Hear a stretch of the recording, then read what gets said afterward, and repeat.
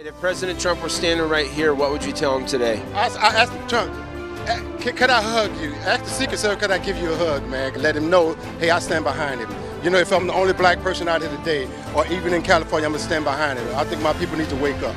Wake up. Stop getting paid for these, these Democrats, these demon, demon rats. Don't work for the demon rats. And if President Trump was standing here next to you today, what would you tell him? I'd say you are the most uh, um, uh, courageous man that I have known in this lifetime because uh, you've come against so many forces against you and yet you still stand tall. You're what this country is built on, and I think that's courage. He's not a perfect man, but I think he's a man who's willing to stand up and, and, and represent what our forefathers wanted this country to be, which came out of the, uh, the actual Word of God.